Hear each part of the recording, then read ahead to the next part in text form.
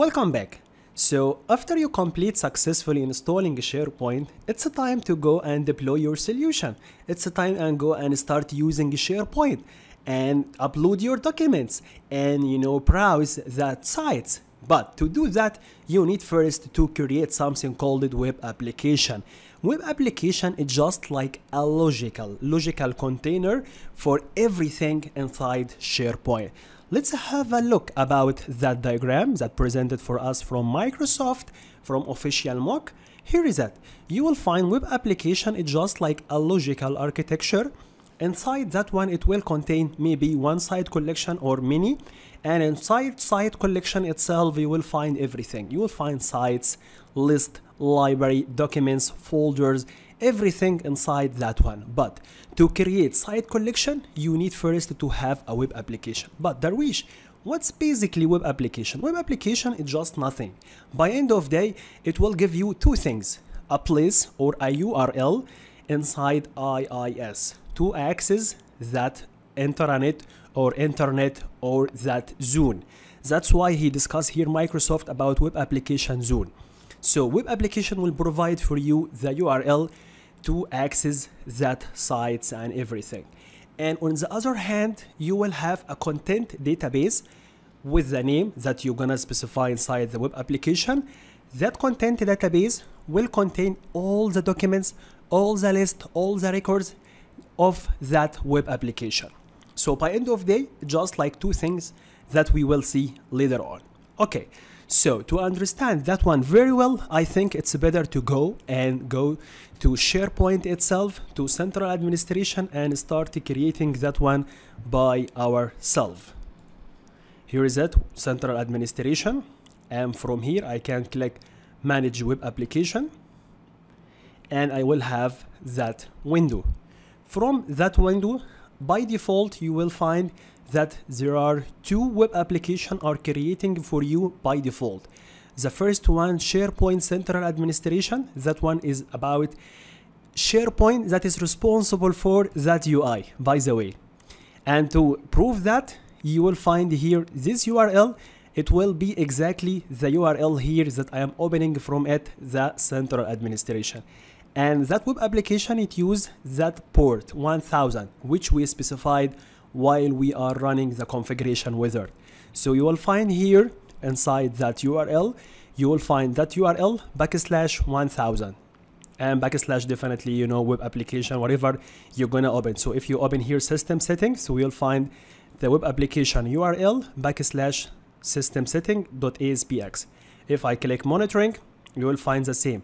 The web application URL backslash monitoring.aspx oh my god. So all of that just web application? Yes. Okay. Here is that. Manage web application. So that one is coming to you by default. Okay. So let's move on and create our first web application. I will click here new. And here is that you will find that window. First of all it asks you do you like to use an existing IIS website or creating a new IIS website? Definitely, it's mostly recommended. If you're gonna create a fresh web application, you need to create a fresh new IIS. So here is it. Let's give it a name better than SharePoint. We can say training and no need for that one. Just like that. Okay, training. You can name it anything all right? And after that you need to specify the port for this web application. Here is it. We can say for example 9000 you can choose the port. Let's move on to the host header. Host header is basically about a meaningful name for that web application. Maybe you call something like sharepoint.contoso.com and that one definitely need to be configured through our DNS. We will discuss about that one later on but you need to understand right now it will be configured from here. Let's move on. Here is it about the path. Keep that one uh, by default. It's basically inside um, uh, C drive inetpub triple W root and virtual directly and after that the port number that we specified here 9000 keep it as it is. No need to change anything here. Let's move on about here is it about security configuration part. Security configuration part it's very important about if you're gonna allow anonymous user to access that web application or not. Right now you know for training purpose we are keeping you know no. And in meantime do you have any ssl certificate that need to be used right now for that web application? Okay darwish. For example right now i need to create certificate for that web application but it is not prepared yet so for the current time you can keep it no and later on i will show you how to change that one from not using ssl to start using a certificate over that from iis okay so no need to specify it right now. We can keep it as it is right now. Let's move on about what about claim authentication type? Here is it inside you know sharepoint 2016 it's recommended to use NTLM and we will discuss about that one later on and what is the difference between NTLM and Kerberos but it's recommended from SharePoint 2013 and you know beyond that to start using NTLM okay? And let's move on. In case in case you would like to start configuring form based authentication for your web application what mean about that? Right now you don't need to use that you know default login page from Microsoft. Okay you need to have your own uh, ASP.NET membership and you need to configure that one to ask to ask about registration and username and password. All you need to do is click about that checkbox and definitely you need to provide the membership provider name from here and you need as well to provide ASP.NET role manager name from here in case you're gonna choose FBA okay right now we are not using that one so I will keep it as it is by default. I will scroll down. Here is it. Definitely if I'm gonna use the default sign in page no need to provide any URL but in case you developed and designed it that a custom sign in page you need to provide the path here or the page URL okay? I will keep it as it is you know as a default. Okay. Let's move in. Here is that it will be the public URL it will be as we discussed before here is it the server name you know and the port that we specified it will be 9000 so that one it will be the first place inside your IIS it will be that URL you have to type that URL inside your browser to start to access that web application. Okay? Let's move on about application pool application pool we will explain about it later on but right now it's recommended for each web application to start have a fresh a new application pool okay? So no need to start using existing application pool. Here's that you know as you can see uh, there are a lot of application pools but for me I will create a new application pool for that web application.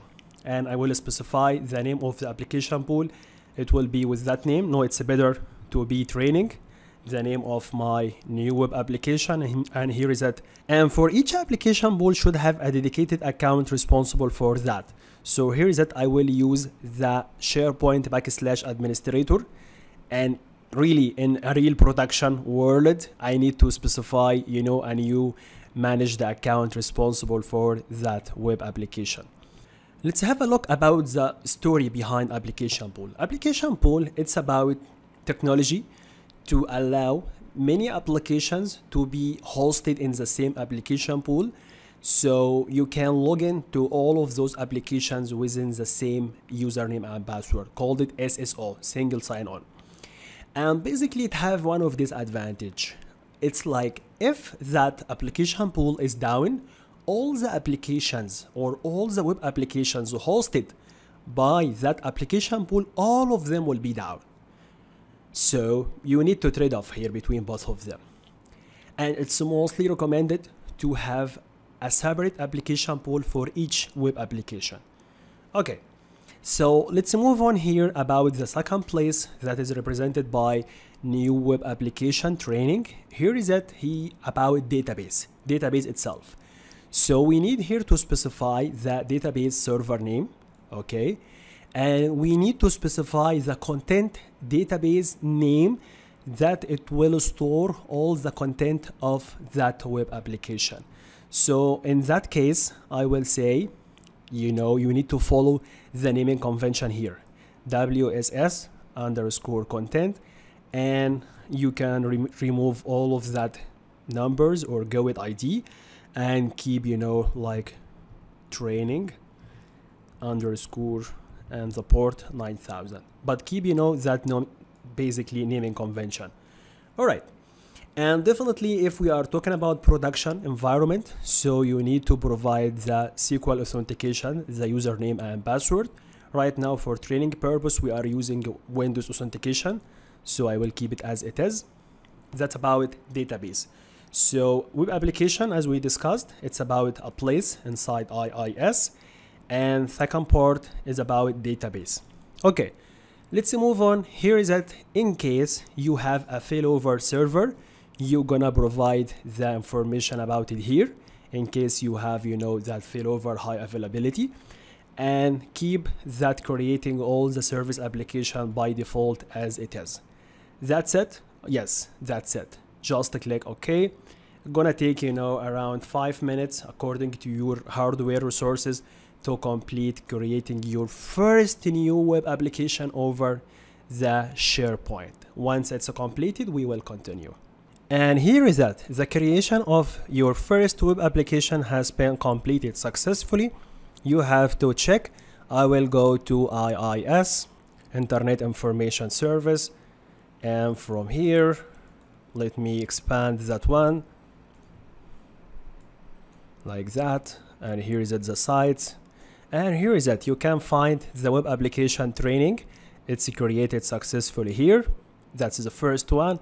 And the second one you need to check from database. Here is that server name and windows authentication. I will connect. And i will expand databases and i will expand databases and if i scroll down i will find WSS content underscore training 9000. That one, it's responsible for keeping the content of that web application. Thank you for watching and see you in the next session.